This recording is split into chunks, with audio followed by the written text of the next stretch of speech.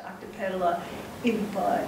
And another day, it would be open, and in three days, it would be in seed. Everything alive had to do what it was doing really fast and low. About June 10th to July 10th to summer. Right. Well, why don't we thank you very much? We'll be here for a little bit, but thank you very much for coming on this cold night.